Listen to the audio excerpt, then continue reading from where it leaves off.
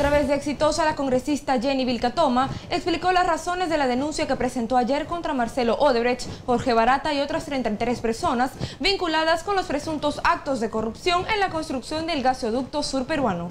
Y lo que hemos hecho ayer es eh, cumplir con trasladar esta noticia criminal al Ministerio Público una vez que el ministro Ceballos confirmó que la empresa había decidido no reconocer culpabilidad ni acogerse al acuerdo de colaboración eficaz en el caso del gasoducto. Son 35 personas denunciadas, son 35 personas denunciadas, el delito es organización criminal y colusión.